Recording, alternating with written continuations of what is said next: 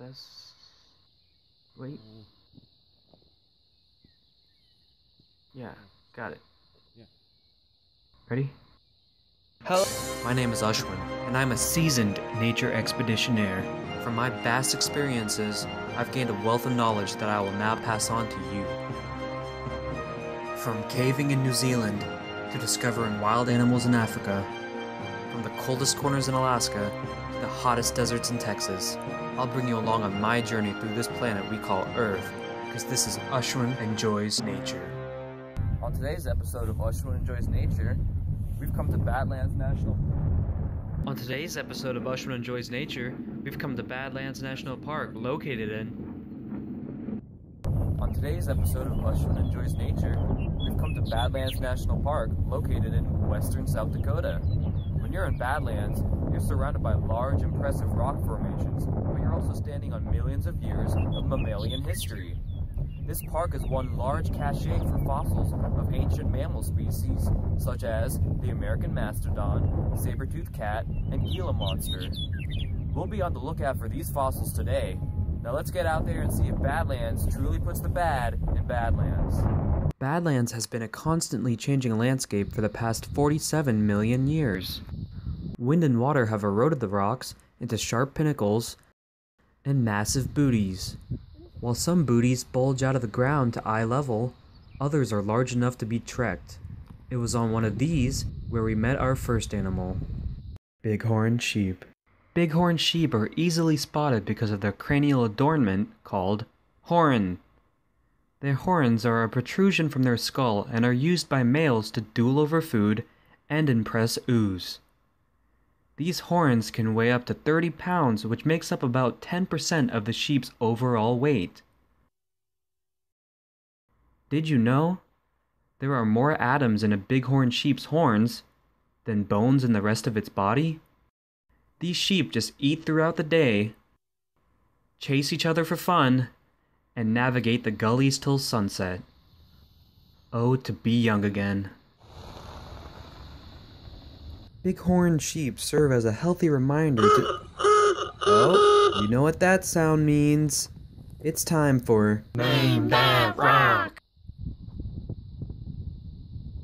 Igneous. As the shun sign spread across the rugged hills, it was as good as time as any to don on our digging caps and go searching for fossils. Now, a secret paleontological technique for finding fossils is to tap the ground and listen to how the ground responds. If it sounds hollow, there's a high likelihood a fossil is present. Fossils become surrounded with pockets of air as the bones exhale oxygen over millions and millions of years, a process known as fibrosis.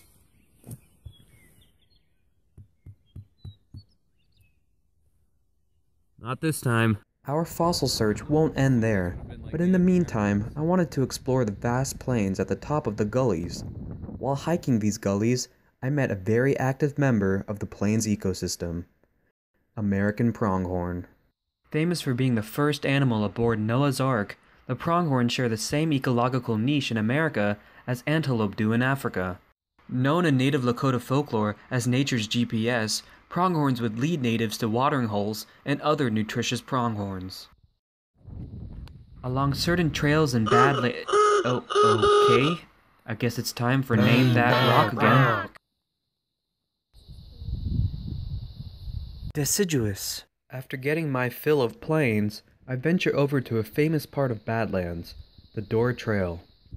Voted number 5 on TripAdvisor for things to do in South Dakota, I had to see it for myself. Walking the door feels like walking on Mars with the scarred earth and lack of vegetation. A highlight of the door is the distinct level layers of contrasting color in the rock.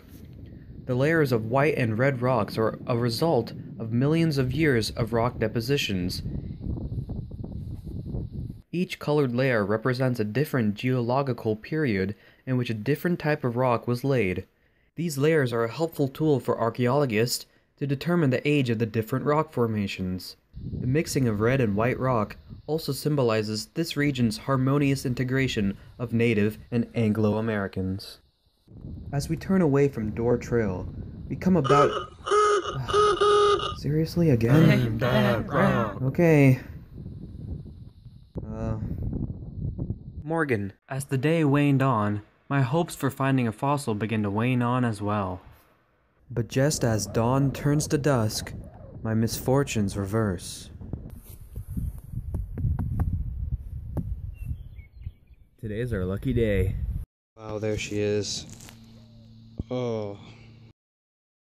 As this genuine fossil gives us a glimpse into Badlands' past, it's time for us to reflect on our own recent past in Badlands. Encompassed by a splendor of rocks and wildlife, we were fully immersed into the natural history that pervades this breathtaking landscape. From the stagnant cottontail to the distant buffalo, I'm not shy to say that I enjoyed this nature.